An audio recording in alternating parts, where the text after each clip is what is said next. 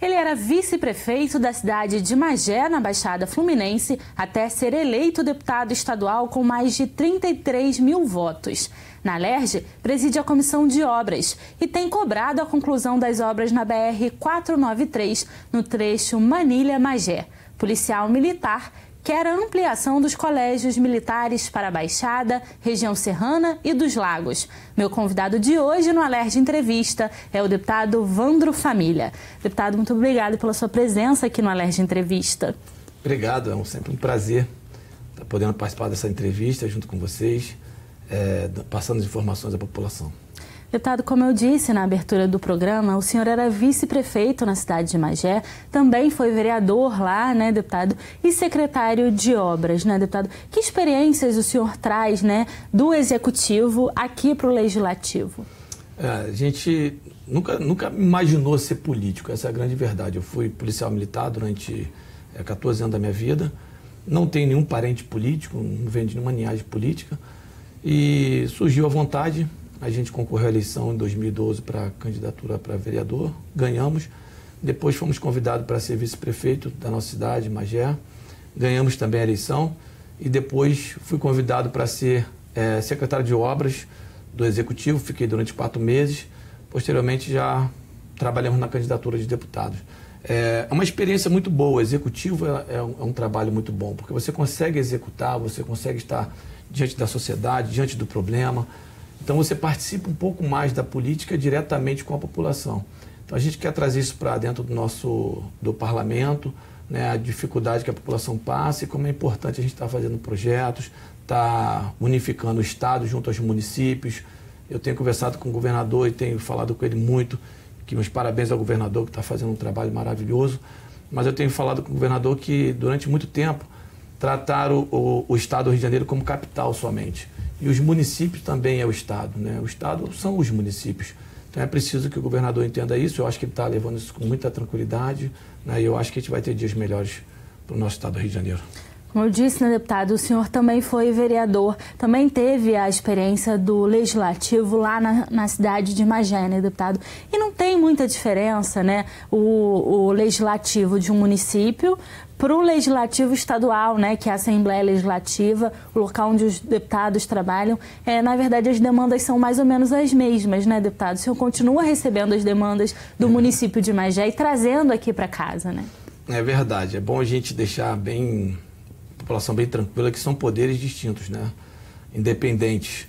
Né? Eu, como, como vereador do município de Magé, eu tive o desprazer de ter que fazer uma, uma CP e uma CPI e presidir uma CPI e uma CP, ao qual a gente teve que caçar o prefeito que estava na época. Né? Então, assim, é muito ruim, porque a gente vota nas pessoas para que ela cumpra lá o seu mandato, que ela faça um bom mandato para a população, mas infelizmente, como parlamentar como do legislativo na época, eu não poderia ficar é, de olhos vedados, fechados, diante de tanta coisa ruim que estava acontecendo da cidade. Então a gente foi para a história de Magé como única Câmara em 454 anos que caçou um prefeito. Isso é ruim para a cidade, isso é ruim para a população, é ruim para a imagem política, mas a gente precisava fazer o nosso serviço, que era fiscalizar. Deputado, o senhor também foi secretário de obras lá no município de Magé e aqui na Leste o senhor está presidindo a Comissão de Obras Públicas também e tem cobrado bastante né, a questão é, da retomada das obras né, da Manilha Magé. Deputado, é, o que, que aconteceu que gerou essa interrupção dessas obras? É ali uma, ali uma, é uma obra federal, né? foge um pouco até da nossa esfera, mas a gente não podia ficar de, é, parado diante de tanta dificuldade que a população está passando. É uma via que frequenta muitas pessoas, a Baixada Fluminense toda, a região serrana. Quem pensa em ir para a região dos lagos, você tem que passar por ali.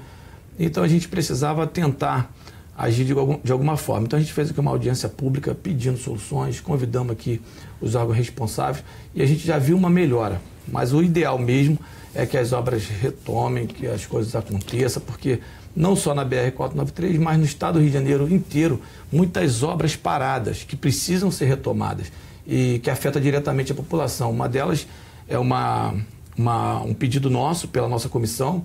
É, já quase três meses, em junho, a gente fez esse pedido para que fosse retomada as obras da SEDAI em todo o estado do Rio de Janeiro, principalmente no município de Magé, que o pessoal é, rodeado de águas e não consegue ter água dentro da sua residência. Então, foi pedido ao presidente da SEDAI e ele atendeu. A gente vai ter agora a licitação da retomada das obras da SEDAI no município de Magé e a gente vai partir para outros municípios também, porque a gente precisa levar água para dentro da, da, casa das pessoas. Né?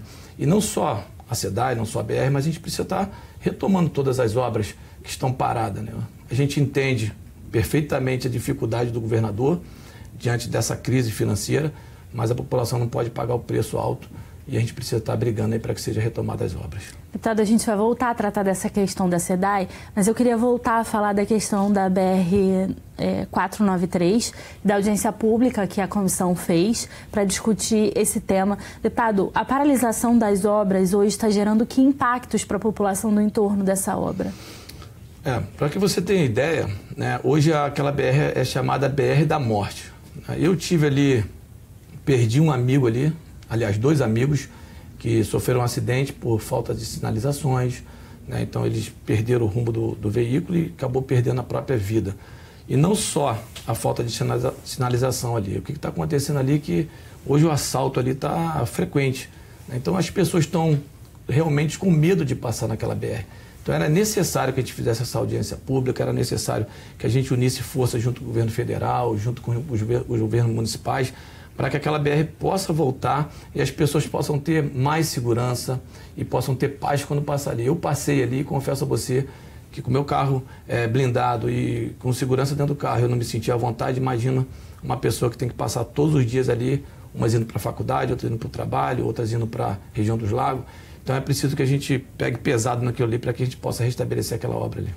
O senhor falou da questão da região dos lagos, né, deputado? Impacta diretamente no turismo, da cidade, né, porque é uma via importante para acesso não só da região dos lagos, mas também para a região serrana e inclusive é no trecho que faz a ligação com a capital também, né, deputado. Então, além de afetar a segurança de quem mora no entorno e de quem precisa transitar por ali, impacta no turismo nas cidades da região serrana e dos lagos, mas também no trânsito da capital, né? Verdade. É, e municípios sem segurança, um estado sem segurança não vai restabelecer o turismo nunca, porque ninguém quer frequentar um lugar que ele não se sente seguro. Ainda mais quando está com a família, quando está seu passeio, na hora de lazer. Então é preciso que a gente é, possa investir mais pesado na segurança pública, porque eu não entendo que a gente vai ter turismo, vai ter uma cidade melhor, os, os empresários não vão querer estabelecer as suas empresas no estado do Rio de Janeiro se a gente não tiver segurança pública. Né? Então, eu quero que parabenizar o governador que está caminhando nessa direção e está entendendo isso e está percutindo bem hoje no estado do Rio de Janeiro. No próximo bloco, nós conversamos sobre educação e segurança. É só um minutinho, não sai daí que a gente já volta.